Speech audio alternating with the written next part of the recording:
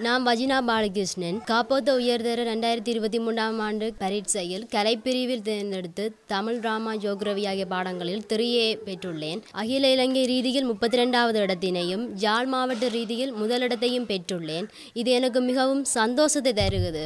நான் படித்தது என்னுடைய ஆரம்ப பாடசாலை யா சாந்தி சிட்டம்பலம் வித்தியாசாலை அதற்கு பிற்பாடு தரம் ஆறிலிருந்து ஏஎல் வரை ஜா பண்டத்தரப்பு பெண்கள் உயர்தர பாடசாலையில் கல்வி கற்றேன். என்னுடைய ஆசிரியர் நண்பர்களுக்கு என்னுடைய பெற்றோர்களுக்கு என்னை ஊக்குவித்த உறவினர்கள் அனைவருக்குமே நான் இந்த தருணத்தில் நன்றிகளை தெரிவித்துக் கொண்டிருக்கின்றேன் நாங்கள் நாலு பேருமே பொம்பளை பிள்ளைகள். என்னதான் கஷ்டம் இருந்தாலும் எங்கடப்பா மீன் விற்கிறவர் அப்படி கஷ்டப்பட்டாலும் எங்களை படிக்க படிப்பிக்கணும் என்ற ஒரு ஆவலோட எங்களை படிப்பிச்சது எனக்கு மிக சந்தோஷத்தை தருது.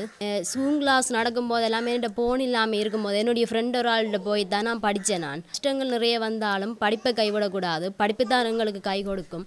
ஆகவே வளர்ந்து வருகிற மாணவர் சமுதாயம் என்னை போல ஒரு நல்ல சிறந்த ஒரு மாணவர்களாக திகழ வேண்டும். அவர்கள் நிறைய விடயங்களை மேலும் மேலும் கற்க வேண்டும்.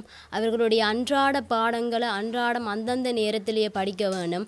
பாடங்களை ஆசிரியர்கள் விளங்கப்படுத்தும் போது அது எந்த கவனத்தையும் தங்களுக்கு சிதற விடாமல் முழு கவனத்தையும் படிப்பில் கொண்டு நம்பிக்கையோடு தங்களோட வெற்றியை மாணவர்கள் தொடரணும் என்று நான் மாணவர்களுக்கு அறிவித்து தருகின்றேன். நன்றி.